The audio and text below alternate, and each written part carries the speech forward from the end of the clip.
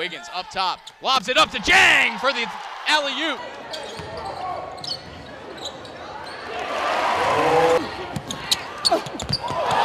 Has a bit of a height advantage there. Will drive the lane, but Curtis rises up and swats it away. Gillis wants to run. Bounce past to Cameron. He goes up with the right hand. It's no good, but Curtis.